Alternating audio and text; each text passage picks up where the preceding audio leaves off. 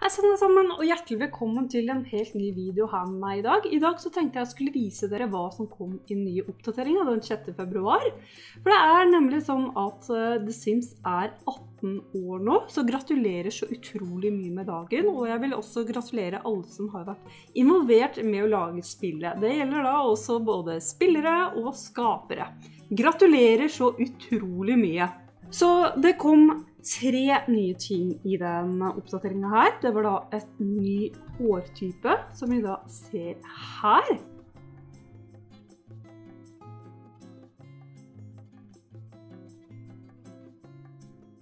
Det jeg da liker veldig godt med det håret her, er at det virker som at de har brukt veldig mye tid på det for å få det til å se bra ut.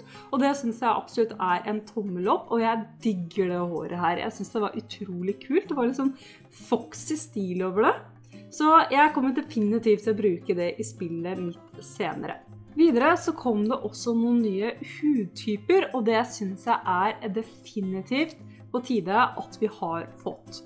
Som vi da ser her, så er det da kommet nye kalde og varme hudtoner i mørkehuda farge. Og det syns jeg absolutt er et skritt i riktig retning. Så den nye T-skjorta den har da fem forskjellige farger. Da er det da hvit, og så er det en i svart, en i blå, en i grå og en i lilla.